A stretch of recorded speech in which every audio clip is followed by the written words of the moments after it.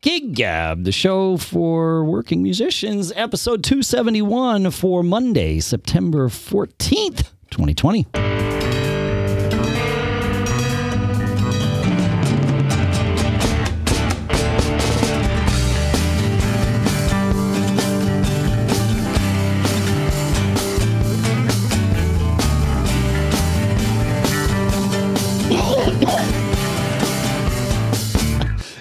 Folks, and uh, and bless you or something, Paul. This is uh, this is Gig Gab, the show by, for, and about working musicians here in Durham, New Hampshire. I'm Dave Hamilton.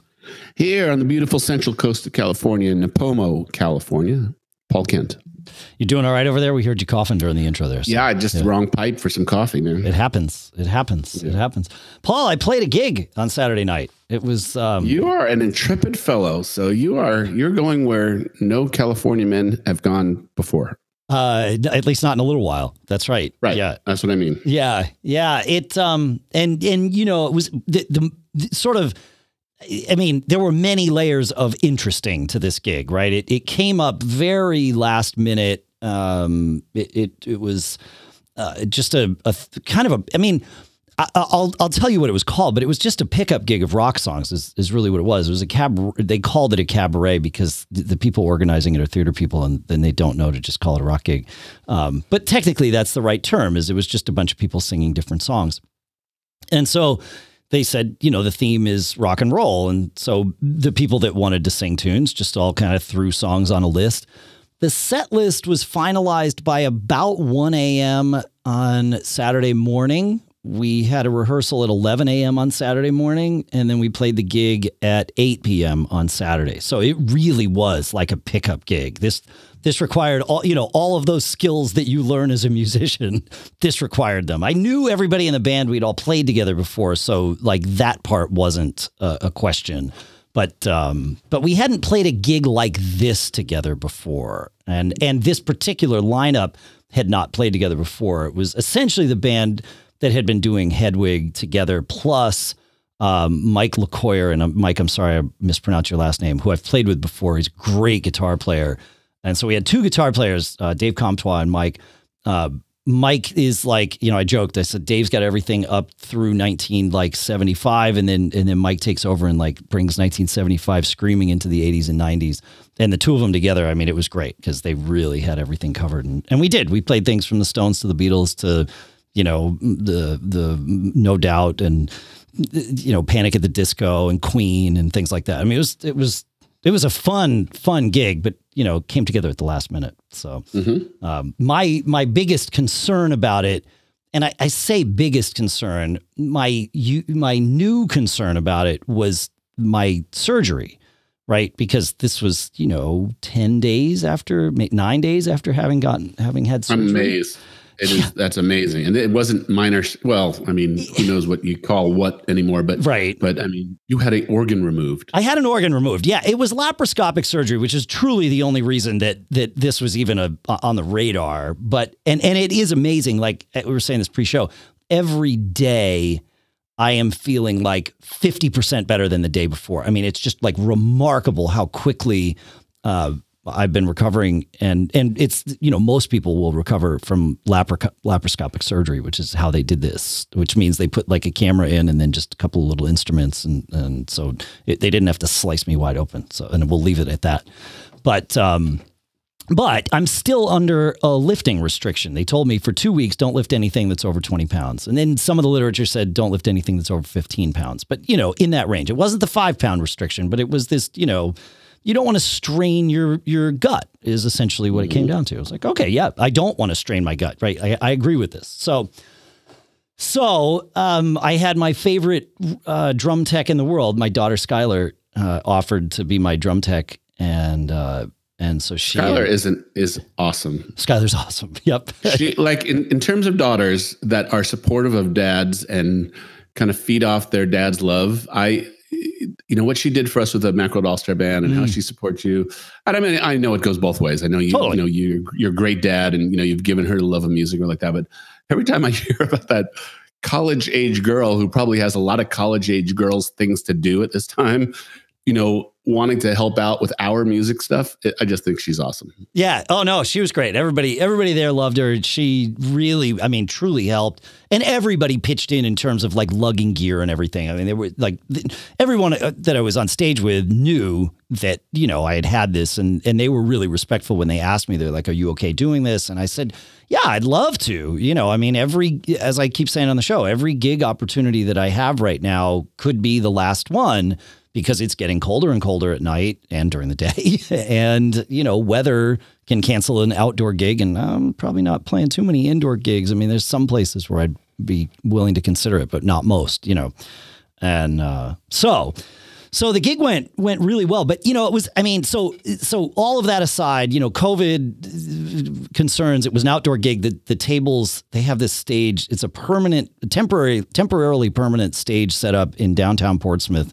They call it Pop Up Portsmouth, and and they have all kinds of different acts there.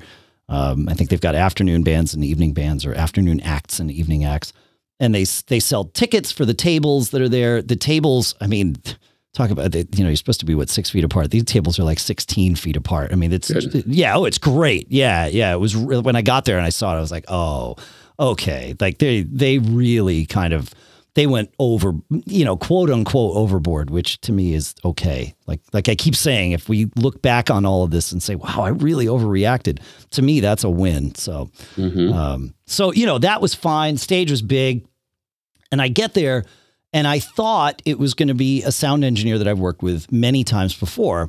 And I was, you know, I walk into the gig thinking, okay, this will be great. I'll see Davis and and we'll say hi to each other, and it, I won't have to do that, you know, that that negotiation that you have to do the first time you meet a sound engineer. Uh, I wouldn't have to do because he knows me, he trusts me, I trust him. He's going to let me use my in ears and mix my ears by myself, and you know all those things that I need.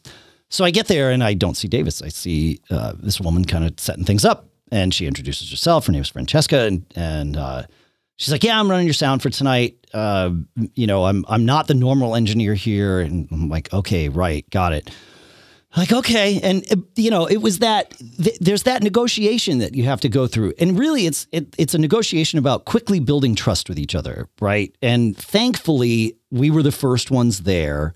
And Skylar and I were the first ones of the band there, and uh, and so she's like, you know, they didn't send me a stage plot. And I'm like, oh yeah, let me tell you how it's all going to be. You know, who, how, what the gig is like, how many instruments you have, what that's all going to look like. And she was very thankful to get that. And of course, I know that as I'm giving her this information, A, I, I truly want to be helpful, but B, I also want to show her that she can trust me because with the board that I know they're using, because they're using Davis's board, it's an Allen and Heath board he has it set up that if I want to mix my ears with the iPad, they have to give me admin access to the board. And that means I could, even as a mistake in the middle of the gig, adjust the mains, which is, you know, something that you have to be careful when who you give that control to. You know, not preferable. Yeah. It's not preferable. So so as I'm as I'm talking with her, I'm thinking this through in my head. Like I, I, need to show her that that I'm responsible, but telling her Davis would let me do it is probably not going to win me any points here. So I, I I I chose not to ever play that card.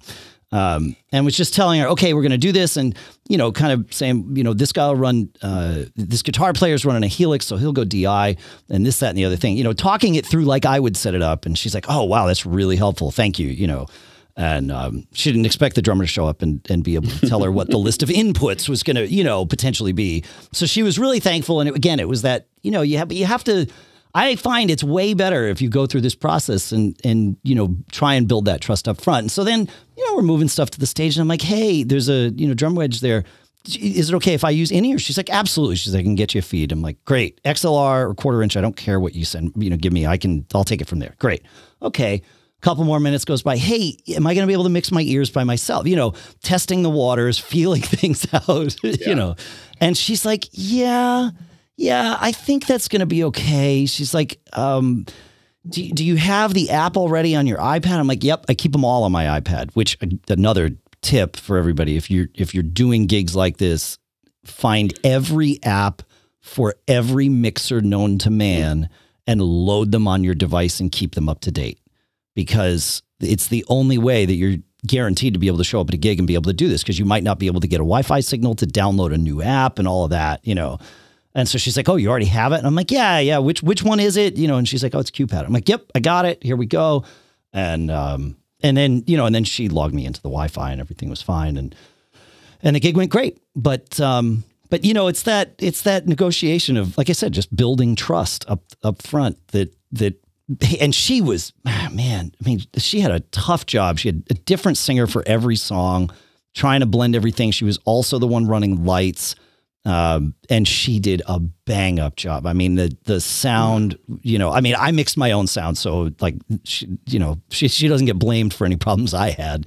Um, right. That's my own fault. But but um, like out front, you know, everybody said it sounded great. I, I saw some of the videos of it, and it sounded great. It's cool. The one thing that and this happens, and I I would love our our pro sound engineer listeners to help me with this because we wound up doing there were a bunch of tunes that Dave, the one of the, the, guitar player, and I wound up singing harmonies on, and then we actually we did a we did a Beatles tune together. We did "You Can't Do That," and he sang "Johnny B. Goode" and stuff. So was, I mean, we had some fun, but we were singing harmonies, and after one tune, I we played uh, "Take It Easy." You know, somebody else sang it, and Dave and I are singing harmonies. I'm like, wait a minute, Dave's Dave can't hear what I'm doing you know, it's obvious to me that he's not reacting to what I'm doing. So I, I had to assume that he couldn't hear me, and I just, you know, went around him, and everything worked out fine.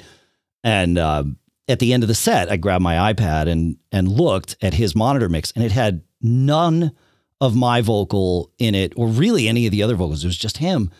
And I looked at all the monitors and I was like, that's how it is. And and so I fixed it. And then at set break, Dave came up to me. He's like, I'm really sorry about taking it easy. I'm like, no, I know what the problem was. I'm like, it's fixed now. He's like, "Oh, thanks, great. I I I need to hear you." I'm like, "Yeah, I know." And um, and and but this happens. I, I, should have I should have thought about this. I had a lot going on, obviously, so I, that's why I didn't. But but this is not the first time this has happened where the default mix of everybody's monitors in terms of vocals is themselves only and right. not the other harmony singers. And to me, as a as a musician, I, like there's no part of I don't understand why a musician wouldn't want all the vocals in there so you can hear and blend and all of that stuff. Now, I mean, obviously, I'm looking at it through my own lens. Maybe there are plenty of musicians that don't want to hear everybody else on stage, but it just seems weird to me that that would be the default. But it is the default so well, often. I, here's what I think it yeah. is: is that you you can hear enough of the lead through the mains, mm. and the thing you're always fighting is to be able to hear yourself comfortably and clearly. And you know, so so many monitor mixes are muddy yeah, fair. stuff gets lost. You're just you're fighting for survival in so many places. The essential thing is to hear yourself. I, I guess I think that's true. pretty accurate. I mean, I like yeah. like great monitor mixes, especially when it's somebody else, is a risk, right? And oh, so, totally. It's impossible. Yeah, yeah, yeah, yeah. It, right. That's right. Yeah, yeah, yeah. So th- that's what I think it is. You you can hear enough of pitch through the mains of a lead vocal line that it, that you can then kind of in your brain assimilate what yeah. you're hearing through the with what you're hearing through the monitor. Yeah, but you're not having you're not starting with a fight happening in your monitor because you can always ask for like, whoa, I need to hear some more of that. Okay, great, I'll give you that. That's easy to start from zero and go up. Yeah, yeah, yeah, yeah. I bet. Yeah, okay, that makes that makes good sense to me. Yeah, for in ears, I mean, again, you know, you never like. She actually was telling me, she's like, oh yeah, I spent some time on the road where I've mixed in ears for people. She's like, but you know, that's different. She said because I'm I'm wearing ears, hearing their mix usually I try to wear the same brand and model as the artist so that I'm truly hearing as close to the same mix wow. as they're that's what they're getting. I'm like, okay, like sh- this person knows what they're doing. Like this is great. She's like, but yeah. obviously tonight you're just going to be on your own. I'm like, yeah, you got enough to worry about. Like I'm all good. um, so so I you know I without thinking about it, I you know I did my normal kind of thing where I give everybody all the vocals at one spot and then I usually, you know, add 2 dB to me or something so that I can hear myself above everybody in my ears, but depending on it, sometimes I I really like an ears mix that to me sounds flat. Sometimes it does mean that I have to give a little extra myself in, but um but I like to hear I like to hear the whole blend, but Yep. But that's a that's a that's a difficult thing to chase in a one-off scenario. So Correct. Yeah, okay. That makes sense. All right. I'm, I'm with you. Thank you. All right, he answered my question. And you know, I wonder with the with the cool tools that have come out, and you know, the ability for people to mix themselves. I wonder how many of the our listeners um, would agree with that. That you know, monitors are are a are a battle of survival. You're just just trying to get something that you can you can hear yourself especially singing, versus how many people always have a really good monitor mix. I mean, I know we have certainly a lot of semi-pro and professional, you know, bands that uh, you know they have sound men and they get exactly what they want. Yeah, but I wonder for the weekend warrior people, where you know, literally, it's just like a if I can get a little crutch out of this, so I can hear myself better and you know ensure I'm not off key. I wonder how many people are like great sound versus survival mode sound. Yeah, I, I mean, I certainly know what you're talking about. So, so to to, to follow it up, uh, feedback at giggabpodcast.com. Let us know because we we definitely this is an important conversation to have. Um, I certainly know what you mean about survival mode. I mean, being a drummer, I even a singing drummer. Uh, you know, I started out for years without ever having a monitor behind anywhere near me. You know, it was like there's that wedge up at the front of the stage, and that's what I get. So, Right. so when people say, "Wow, you really learned how to project," it's like, yeah, well, yeah, uh, I needed to hear myself. So, you know, that's how you do it. But um, I remember my brother had a um, uh, at one of those little gorilla practice amps. You know, they, were- they were like these orange things th- 30, 40 years ago, whatever it was. And Yeah. uh, and he wasn't using it anymore. I'm like, dude, can I use that as a monitor? And he's like, sure. And I, you know, I set it up next to me, and it was like, oh, the heavens opened. I was like, look, there's a speaker there, and and the the, the sounds I want come right out of it. It's amazing. Um, but even that, you know, compared to what we could do today, was total survival mode. So I'm hoping nobody's like routinely experiencing survival mode, but because I feel like there's like this this is an easily solved problem. And and to be fair, like everyone loved how their monitors sounded the other night. Like it, they were great. Like everybody, even you know, our guitar player was like, "I can't hear you because you know I was at zero in his monitor, so of course he couldn't hear me." But he's like, you know, the mix is like the, the, the tone of the monitor is great. It's you know, it's uh, like all of it was good. The tech is there now to to you know ring things out and make it so that you really can get whatever mix you want, especially outdoors where you're not fighting reflections and uh, Have you ever played in a situation where all on stage instruments are going direct? Like you're the only sound on the stage? Um, yeah, I've gotten really close to. I think I have actually. Yeah, maybe not like bass, which seems weird to be the one that would you would use an amp. Um, but maybe not bass. At, at I've played with bass players that have gone direct, but I'm trying to think if I've ever played. I, and I've played with bands where the guitar players and certainly keys have gone direct. I don't know if I've ever done all, but I've definitely done a gig where the bass player was the only amped instrument on the stage. Yeah. Mm. Yeah. You know, it's interesting because um, cover band artists are getting a little older. There's such an influx of people who, you know, are weekend warrior dad bands. and, Sure. you know, right? And they're more sensitive to volume often. And Mhm. and the technology is getting really good. Headrush, Kemper, I mean, all these, you know, modeling, you know, technologies where you can go right to the to the PA and you know sound great. Um, that technology is getting really good, and I, you know, it's it's an interesting thing to watch. But rock and roll just feels so good, you know, playing into the air, right? So I, you know, I that's the one thing for me that every time I've tried to go direct like that, it just the tactile experience of strumming the strings and not feeling something Yeah. is just still off-putting to me. Yeah, I, I mean, I, I, I remember. I i this is why I know that I've done this gig where the bass player was the only one live, and everyone was on ears. So there was one point where you know my mix wasn't quite right, and it was like, okay, between songs I'm going to fix it, but right now I'm just going to yank an ear out so that I can you know get through this tune. You know, it's survival mode 2020 style. You know, like Yeah. yeah. And of course, I pulled my ear out, and it was like, "Oh, big mistake! Like I got nothing now. yeah, like I got to find a way because pulling an ear out with a drumstick in my hand is super easy. I can do that between beats. Putting it back in is not quite as easy a maneuver. I mean, I'm pretty good Right. at it, but you know, the it's screwing in process the takes a second. it takes a second. It's like, oh crap! Like I got to get this back in right away.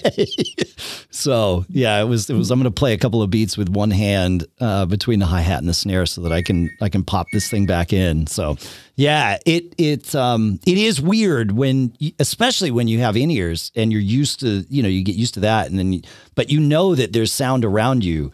Um, and then suddenly, oh, there's not sound around me. I mean, even with in ears, not having the sound around me is is a different thing for sure. You know, I mean it and I experience that in the studio, of course, when I play on my own. If I'm playing along on headphones or whatever, there's not the sound of you know the the feel of a band being being amplified around me somewhere. You, you know, it, it's it it is a more sterile thing. Again, I'm pretty used to it, and if I'm playing acoustic drums, then there is at least that. You know, but but even that, like depending on how the construction of the the platform or the stage the drums can can really go away. If you if you're playing on like concrete or something where there's no resonance underneath you you don't like I don't feel the kick drum at all. It you know it just doesn't go there's no there's no resonance. It doesn't come back. So it, mm-hmm. it is a it is a very different thing um, every environment. So I don't know just how it goes but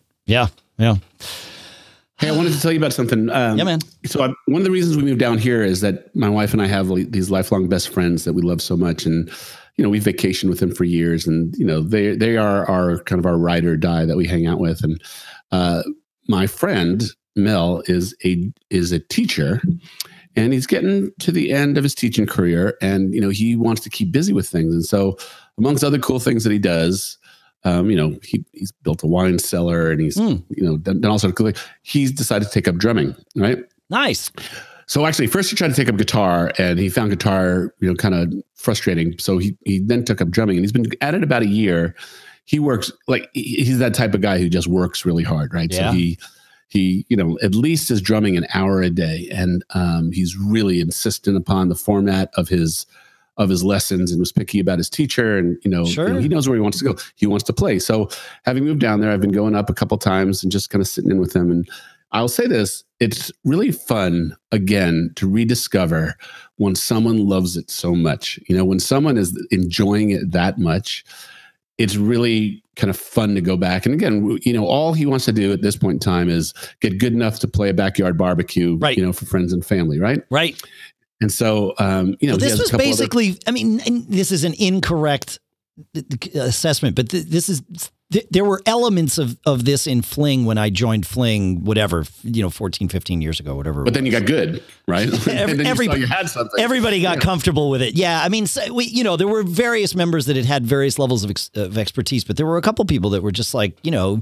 in that mode of life where they had played for a while, but never seriously. And it, now it was like, okay, now I want to figure out what it takes to be the, the next level. Like, let's do a backyard barbecue. Okay, you know, once you do five or six of those, like, all right, now, yes. right? You know, like, so Fling went through that progression, and and after we went through it, the guys said, a few of the guys said to the other few of the guys, like, thanks for being patient with us through all that. Like it was like, no, to, to, your point, like it's infectious. It's those backyard barbecue gigs are fun and you can get to be a jaded old fart, you know, right. and be like, no, I only want to play gigs where there's a, you know, dedicated monitor engineer and a lighting engineer, green room. roadies in a green room. Yeah, exactly. Right. Exactly. It's like, you know what? It's fun when there's a freaking burger and a beer and, and you're set up in the grass and you just play for the love of playing. Yeah, it is. Exactly. And again, Mel's starting kind of from scratch. And so he works his butt off because, you know, he's, he's been a competitive athlete his whole life and he's not going to be, let himself be the weak link in this type of thing. Ah, so that's good. Yeah. Yeah. And he's gotten really far and he gets better every time I see him. And, uh, you know, the whole point of the story is it's just, uh, A, if anyone's listening out there that is thinking that they'd like to get back into it or pick it up, you know, I know we have a lot of people here who are, who are more music fans than they are musicians who listen to us because they like the inside baseball aspect of it. It's never too late. And uh, if you approach it, you know, work hard, you know, you can. The great thing about rock and roll, especially. You know, it's harder. You know, it's a little harder with jazz, a little harder with other types of music that's more, you know, more produced type of music. But to just grip it and rip it, play those type of songs, you can get there after a while. I mean, you know, yeah. be careful about the songs you choose, but um, you can get there. And it it, it is still the, the point about your Fling story and my story, my buddy it is one of the most infectious things you can do. It is just one of the most fulfilling things you can do. It gets inside you. It takes you over. You can't wait to do it again. That's the thing. I mean, it, you can't wait to do that it again. joy. Yep. I, I was shocked at myself. And actually, it wasn't just me. Like my family at the time, my kids even, and they were relatively young. Certainly, Lisa. It's like you're going to a band rehearsal every week. Like this has been going on for a couple of months what's going on here? Like, you know, she, like she wasn't suspicious or, of, of me or anything, but you know, she was like, this isn't normal for you. You don't usually, you're not usually willing to rehearse. Like this band doesn't even have gigs yet. What are you guys doing? I'm like, you know, they're they just they're ha- we're having fun. It's it's bowling night, you know. And we had just it's very similar to you. We you know we had just moved here. I met these guys, and it was like I need to meet some locals, and so this was bowling night. It just we didn't want to go bowling. We wanted to play music, but it was it was just for the fun of it. Yeah. You, you know, yep. as we're uh, this and uh, this is a great conversation to have. As we're as we're having this, I'm thinking, you know, there aren't a lot of even. I mean, I, have been amazing. It, my good fortune is not lost on me. I mean, there were many moments the other night where I had tears in my eyes, just mm. knowing how lucky I am to be able to do this and rock out like this. Because you know, I mean, we we went a few months here without knowing when the next time would be. And I also know that any of these times could be the last time, right? I mean, it's we're, you know, we're at this weird precipice. But I've been really fortunate. But even these gigs are few and far between and very carefully selected. Um, I'm I, certainly turning down more gigs than I would than than some other people are around here. I'm just you know I'm really being cautious about it, and I won't take a gig if everybody involved isn't being tested. Um, you know, and I realize that might be overreacting, and I'm okay with it. Um, and I hope I don't uh, offend anybody permanently because of that. But I it might that might wind up happening to be perfectly honest. But that's okay. Um, but uh, as I'm thinking about this, and I'm looking at you know the spring and next summer, I'm not convinced we'll be where we would want to be with this 100% behind us. I agree. You, you know, and so the idea of these backyard barbecues and everything that you know, I mean, if somebody if somebody two years ago said to you, "Hey, you know, we're we're um, we're playing, you know, we're having a, a, a, cookout, you know, the neighborhood's coming over. If you guys want to come and set up and play, we'd love to have you." You know, you would have said, "F you," like no way. But like now, may, maybe those are our gig opportunities. Um, maybe it comes down to the, for the love of playing. Uh, I don't want to do any free yeah. gigs for any clubs or anything. Necess- yeah. You know, like like if there's money being made, I then then we need to have the conversation about everybody participating in in that equally or appropriately, not necessarily equally, but appropriately. But if it's, you know, if you don't have the opportunity to play and your neighbors are having a barbecue and they want a band and everybody's into it, you know, you don't have to go and play four sets at your neighbor's barbecue. You go play one that's okay. you know, you don't have to yeah. kill yourself for this. Enjoy the beer, enjoy the burger, enjoy playing, but make that a part of it. Maybe maybe that's what we are able to do next year is is more backyard barbecues. And that's, you know, they're really well, I agree fun. with you. It yeah, I, I agree with you. It, it, seems like every day we wake up, I mean, I don't exactly know what, what are we doing? Are we waiting for a vaccine? Are we waiting for herd mentality? Waiting for the thing to go away in the air?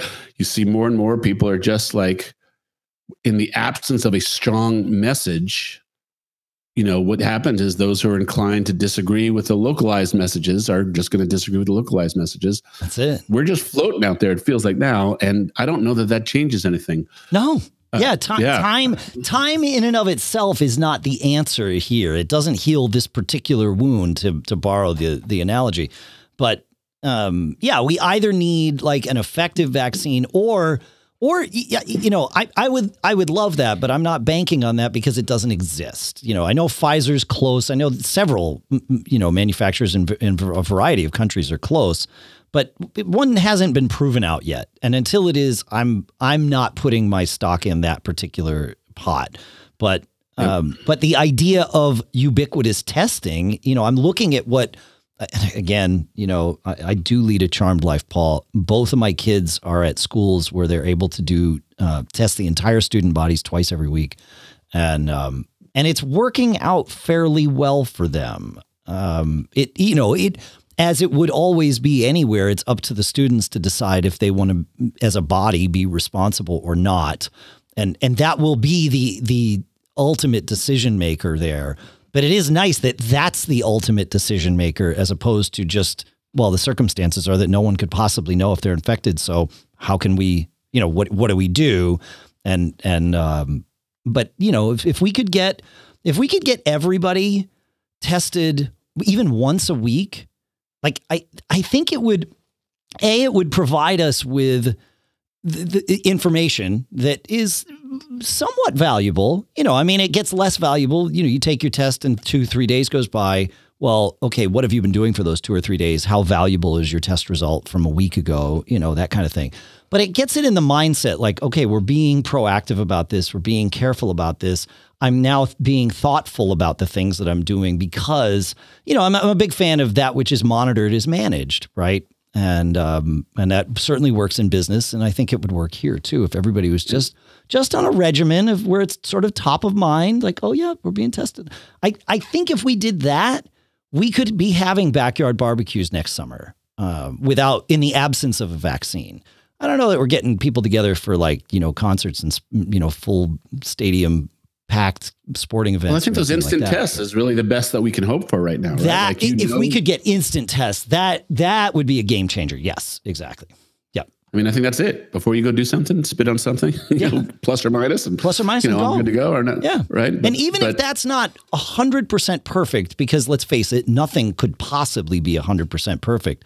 Even if it's you know ninety plus percent that's going to, I mean, it's going to really bring down the risk factor and the exposure factor. Uh, again, as long as everybody chooses to be responsible with the information that they have, right? Well, I'll just, I'll just offer this to you. I, I don't know that that's actually right. And here's why. So I have a friend sure. who um, has a gym. Uh-huh. And they can open and they can comfortably handle at the allotted allocation of percentage of square foot. Sure. Quite a few people. Yep. He's saying people are too scared to come. Like, you know, there's so yes. much fear out there. Yes. The test will help. The test, the test will help probably, overcome that. The test fear. will help with people you know. I don't Correct. think the test will help if you don't, you know, if you don't trust other people are being honest about the test because you don't know them. I don't know that it will help that. So I don't know if I agree with the you economy there. back and I don't, you know, that type of thing. Yeah. No, it is. Hey, one more thing. It's trust, right? And I will say this, you know, part of the reason that that I have my my policy about just everybody on stage has a recent negative test is because of you folks. Like I've I've been keeping count. I've heard now from six of you from various areas of the country who have said some version of the story. You know, my bandmates and I all trusted each other, trust each other. We've known each other for 10 years. We still trust each other. Uh, we decided to play a gig. We didn't need to get tested because we all trust each other. And, you know, a week after the gig, you know, half of us or more came down with COVID and somebody came to the gig with it. Didn't, you know, one of the bandmates brought it to the gig and didn't know. And and like I said, there have been six of those stories that you have shared personally directly yeah. with me. I've seen other versions of that story on all the Facebook message boards and all that stuff. Trust, like you just said, Paul, is about believing someone when they say they've taken the test and believing yeah. someone when they tell you. And since the test, yes, I went to the grocery store, but other, but I wore a mask, and you know, I I didn't encounter anybody where I felt was risky. Like that's where trust matters is believing the person when they tell you these things. It's not you can't I can tell you right now, I'm I'm certain I don't have COVID. There's zero reason you should trust me with that unless I back it up with some some data yep. to show you why, right? Like, Which is what they do in, in China, right? They have yeah. the whole thing where you have the green, you know, stripe yeah. on your phone, or you know, yeah. and you have to show that on right. That's what my daughter has at her school. Actually, my son and daughter have that at their school. They they get a, a day pass on their phone every day that says there yay or nay. Yep. Yeah. Hey, before we go today, can we do one thing for the good of humanity? Yeah, man. Let's do it. I cannot look at social media anymore without people showing that Facebook thing saying Facebook's going to cut off your your live streams and take your band page down and all that type of stuff for our listeners and for just again because we're good guys and we just want to do our part to save humanity can you please explain to our listeners the definitive perspective on facebook is not going to stop your streams? Right so that's the that if if you want to just stop the podcast now wait 10 more seconds. Facebook has not changed anything about allowing you to do your live streams okay? Now I actually I think you should probably not live stream on Facebook anymore anyway. But and I will share why in a minute. But but as to that first part, the clause that everyone has found has remained unchanged since 2018. Someone NME checked with Facebook uh, and wrote an article about it. Uh, Steve over at Cover Band Central wrote a piece based on the NME piece. You found something from oh, it's at the top of my head that you posted to our. Well, Jay Segan posted Jay something, but Segan, it was a that's right. It was a guy from CD Baby who Yeah. actually wrote. The, Right. That's right. It was CD Baby. So they they they contacted Facebook. So there's been several people that have contacted Facebook about this. Facebook it does have an update to their terms of service coming October 1st. It is based upon the the catalyst for it is a lot of political stuff that they wanted to get under control. Um, in reading through the new full version of the terms of service, some people saw this and thought it was new. It's not. Facebook is not interested in shutting down the streams in the way that you've already been doing them. Um, they, they have had some rules in place about streaming for a while. Uh, you can't just go and stream other people's music as you. And that's actually the big part of it, right? They Yeah. don't want other people's. You know, what I was reading, they don't want you to put up like a a slideshow with pre-recorded, you know, music, right? That, that's the stuff that they're that they're cracking down. on. That's the stuff and that- I can and- say firsthand, and that's the stuff they should tra- crack down on. totally. Um, I know when I do my streams, I have been doing pre-recorded walk-in music basically before I start playing. Yeah. And what I try to do is acoustic um, covers of other songs that I was thinking might not get caught, you know, through the Facebook algorithm to know that it's a Good cover. luck. But they they've caught it. Yeah, they Every they time. pretty so I won't Yeah. do that. Yeah. Yeah. Well, eight times. Yeah, out of yeah, 10, eight, eight out of ten. Yeah, yeah. It, YouTube does the same thing. They they just don't want you taking you know Little Feat's waiting for Columbus and playing that as your Facebook stream audio. You know, Right. go go and play your own version of Fat Man in the Bathtub, and everything's okay. Um, so now here's the thing, though. I don't think for most of us, and I think you need to look at your own data and decide this thinking about the platform in general and kind of zooming out a little bit, I think Facebook is the wrong place for most of us to stream our music. Now, I get why so many of us, especially those of us of, you know, our demographic, Paul, are choosing to make that, you know, kind of the obvious choice because it's where we hang out.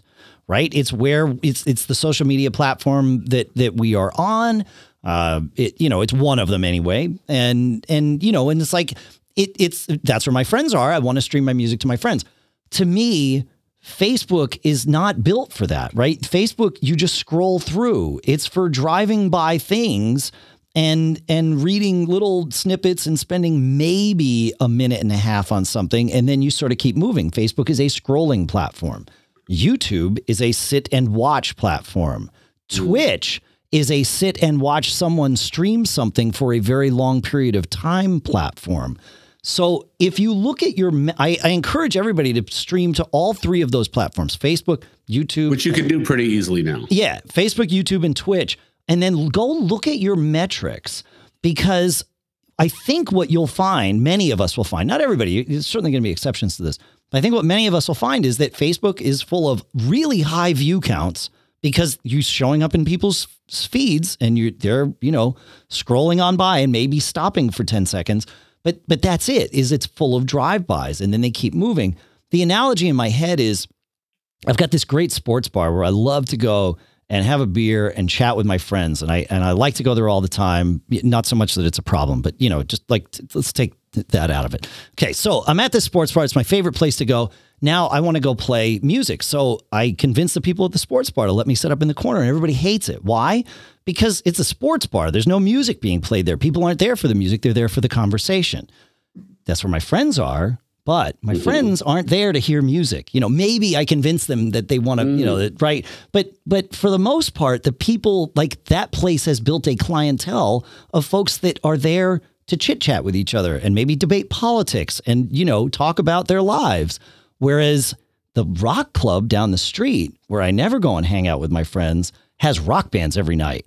And maybe even though I don't know anybody in there. That's a better venue for my band. And the rock So I club love is this. I love this analogy. Yeah, and you know, I, I'm gonna. I'll, we're just about out of time, but I think we need to do more of this. And so here, here's what I'm thinking. Um, having thought about this, um, and watching the conversations that are going on. So a lot of F Facebook and you know, a Oh, of sure, that of course. Yeah, And actually, one of my one of my responses is Facebook doesn't owe you anything, right? I, I mean, just remember what to, you paid for the ticket, folks. Yep, exactly. So that that would be one part of it. There's no cover had, charge at the sports bar. I had one good friend say, "Well, this is where my friends are. I'm not trying to be world famous. I just want to be local famous, and my local friends are here. So that's one perspective. Um, boy, Twitch, they won't like me. You know, I'm, I play you know 70s stuff. Those are all kind of young gamers, so I don't think the Twitch audience is there. YouTube seems to have some hold, but the only the only issue is um, but my people are here. Yeah. Right. My people are on Facebook. So so that that's where people are kind of stuck. Yeah, I, I, I, we wound up we were streaming the Bitter Pill shows to Twitch, YouTube, and Facebook, and and Twitch we got a great response out of. I mean, it really made made sense. Bitter Pill's music is uh, like I would not I mean, it's it's weird, you know. It's it's I don't know. It's like it does it doesn't fit into like a genre of like classic rock or something like that, you know. But yeah, um, but it you know it there are people there, and the good news about Twitch is, like I said, people go there to watch what other people are doing in real time for a long time. You know, yes, mm-hmm. a big part of what what Twitch's foundational platform is is people watching other people play video games, and if you think that's weird did you sit and watch any sports on TV this weekend? If so, it's literally the same thing that you're watching someone else play a game. Um, I I don't spend a lot of time on Twitch, but once I kind of put that analogy in my head, I was like, oh yeah, actually this makes a lot of sense. Um, but there are, but it is a platform built for that. YouTube really isn't built for the streaming. Yes, of course you can do it. Yes, they have the live things, but really YouTube is about those six minute videos. Like that's what their search engine highlights for you. That's what mm. they bring to the top. So yes, you can do this on YouTube, but discoverability wise, I think you're better off on Twitch. But but you know, it's a good experiment. But I think we all need to open our minds a little and experiment with this and and prove well, to ourselves. Just make it a data database decision as opposed to uh, you know a, a, a theoretical decision maybe one of the things we could look for because it doesn't have to be Twitch. I mean, you know, if you if you're using this analogy, if you want people who like music, there, I'm sure, and the, this started at the beginning of the pandemic. Some people started to build out some kind of custom built streaming platforms yeah. for music things, right? Yeah. And along with that was the right type of outreach marketing and the right type of fan interaction. You know, like Facebook's fan interaction is kind of clumsy, right? You know, you kind of got to stop what you're doing, see who's online, you know, acknowledge them. So, you know, there's no reason it has to be Twitch or YouTube other than the fact that they've got millions of users already. But if, if that, if we believe that analogy that millions of users aren't that helpful, I mean, by numbers, it, it you know, you're bound to find some people who are going to be interested in you. But if you really want to start drilling down, get away from the people who are the gamers on Twitch and the, and the, um, and the uh, you know cat videos on on uh, on YouTube, and and uh, you know get to a place where music fans hang out. I'm sure that there are options for music specific streaming platforms uh, that musicians. But you have to be you have to have enough courage to encourage your yeah yeah, you got to build an audience. Yeah. yeah, exactly. Encourage your Facebook fans or wherever you are to follow you over there because there's some compelling reason to do it, and it has to work and it has to be seamless and you know all that type of stuff. Yeah. Good conversation to have because, like you said, we may be going into next year still in a, in a very similar place where we are, and so the uh, state of the art of streaming will continue to evolve. And yeah, know, so yeah, I mean, right. what, one thing I will point, well, uh, two things I'll point out. Number one, I, I'll put a link in the show notes for a, a great place to start as a musician for Twitch. They have a whole set of their their knowledge Ooh. base built for musicians. So I put that link in the show notes already. But let me just put this thought into your mind. You could stream to Facebook, you could stream to YouTube, you could stream to Twitch, and there's lots of other places you could stream, but those are the three we've been talking about. Only two of them make apps for your television. Facebook ain't one of them. Mm. So think about this like, which platforms are ones that are geared towards having people watch video content? That's such an interesting concept. So just think yeah. about this. You got to, you know, we all need to zoom out. This only hit me as we were talking about it here. It's like, wait a minute, you know, like I can't watch Facebook on my TV easily. I can easily watch Twitch. They've got an app. YouTube, no and, problem. You know. Yep. Yeah. And we say always be performing, and uh, you know, music is a music is a visual experience, as we've been also saying quite a bit. And so, you know, yeah. maybe we need to put a different lens on it. I know, you know, I playing my playing my heart out for somebody that is watching me in a three and a half inch screen is, you know, I'll take it. But uh, I'm reminded of David Byrne when, uh, sorry, uh, not David Byrne, David Lynch when when he first saw a video, you know, iPod or maybe it was a phone, but I think it was a video iPod, and somebody was like, "Isn't this amazing? You can watch movies on this." He's like, "Look how small it is. This is terrible. This is going to ruin everything. you know, this is the death of artists. We know it. You know." And and yeah. he just went into this rant, this tirade, but he, you know, he wasn't wrong. So yeah. Well, he doesn't put llamas in every third scene for no reason. I mean, they're there for you to discover. That's You're right. not going to find them on a three-inch screen. That's right.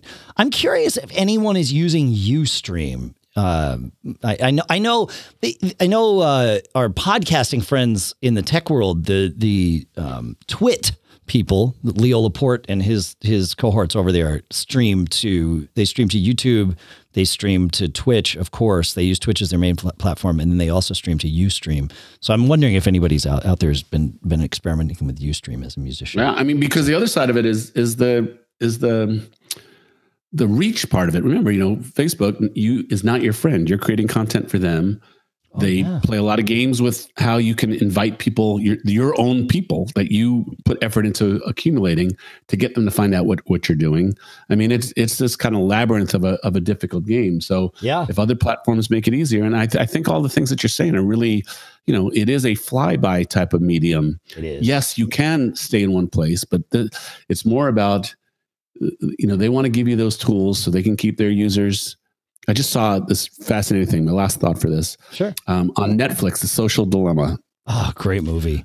Oh my God. Well, a documentary movie. Document. Yeah. Whatever. Yeah. Yeah. Yeah. Yeah. Yeah. Yeah. You know, and the, and the basic premise is, is that, you know, it, they, they're interviewing all these kind of original social media engineers who are largely saying we had no idea it was going to go this poorly. I mean, we were just trying to make a cool thing that brought people together.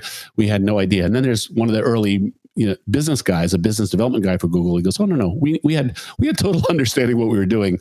We knew we knew that you get an endorphin hit when someone you know puts a like on your stuff, and yeah. you're going to stay connected to us and watching us and stay focused on us. And the more we can keep you focused on us, the more we can sell ad, more we can learn about you, so we can sell more and more ads. And how unhealthy this whole thing has become, and you know it kind of goes into how it has been a large catalyst in dividing people oh perspectives about the country. I mean, of you know, course, fun, fundamental to it, right? Yep. Anyway, so it is. It's fundamental to it. You're right. Yeah, right. yeah. And, and it, if you watch it, you cannot help but thinking whether you want to opt into that anymore. You may say, and then the funny thing is, over the credits of it, they have all these experts giving you like they're almost like outtake reels of things you should be doing to protect yourself when you're on and stuff. Yeah, yeah. But it's like the throwaway stuff, which that should be the whole thing, right?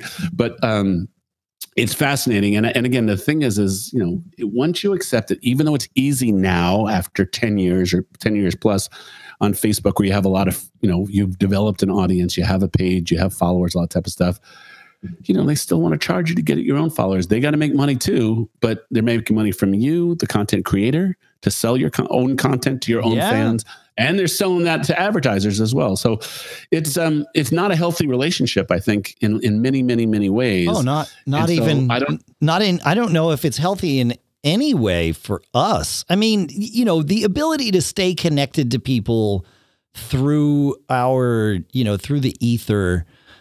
I, I suppose there's some element of that that's healthy. Um, not all of it is, though. You know, look at William Gibson and and and you know the whole idea of cyberspace, right? Which mm. which he conceived of after John Perry Barlow gave him ketamine once. Like literally are in and, and then like the people creating the things that are the internet sort of went on Gibson's vision of cyberspace. So literally the world we're living in was conceived on ketamine thanks to Barlow. Um, crazy guy, wonderful guy. he never gave me ketamine, so I, I, I can't speak to, to that experience. But um, but I do know that that's that's how that happened with with Gibson. Like it, like we are in this weirdly, even you and I having this conversation here, it, like we're comfortable with this, but it is different than you and me being in the same room together having this conversation, sure. right? You know, it's like it it like we do it, it's fine. I in fact I love it but there is a, a, a sterility about it that that's not there when we're in the same room and you know even among people who are close to each other. Correct. Even amongst yes yes yes. Thank you for making my point. Yeah yeah for clarifying my point. Yeah so yeah. Yeah it's weird man. Yeah all right. Well that's what we got for this week. That's what i got. I don't know. You got anything else man? Well you know once we're branching off into ketamine and john perry barlow and and uh and neuromancer i guess we're i guess we're officially over, that, over the shark the, i m- two of my favorite evenings ever were the conversations i had with john perry barlow in the green room after two sequential cirque du mac gigs the first one i had no idea who this guy was i was introduced i was introduced to two of the three co-founders of of um of of the EFF, right? So Mitch Kapor was not there. Gilmore was there uh, and and then and then Barlow was there. But I was introduced to these two Johns. I didn't put things together in my head or anything. And and Gilmore was such a uh, I mean, they were both real presences, but Gilmore was is such a crazy personality. I don't know if you've ever met John Gilmore, but you know he's massive. First, one of the first Sun employees, uh, just like real crazy about like privacy and everything in a good way. Like a really great guy, but but very. He's a unique person. Like you, you will, he will take up a lot of the air in the room. And I just wound up sitting on the couch next to this other guy, John, and had this intense, like 90 minute, really in depth conversation. And and I saw our mutual friend Andy Stone the next day, who had brought this cast of crazy people into the green room. Bless his heart. And uh, and you know, I saw him the next day, and he's like, "Wow, you and Barlow really hit it off last night." I'm like, "Barlow? Who's Barlow?" Um, he's like, "You the guy you're talking to?" I'm like, "John." He's like, yeah, John. I'm like, wait, that was John Perry Barlow? And he's like, yeah. I was like, oh, holy crap.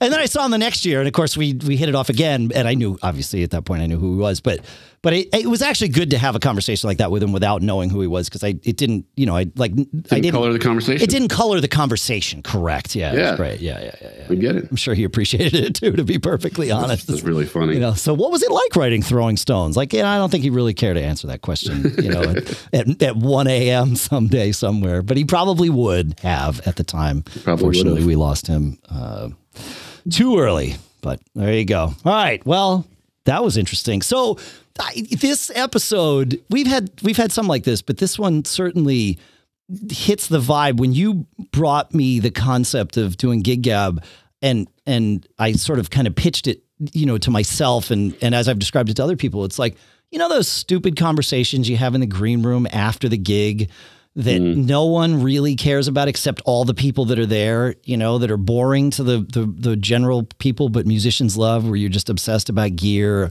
how the gig went, or anything. That's gig gab. So this episode, I feel like, really turned into that kind representative. of very representative. Yeah, exactly.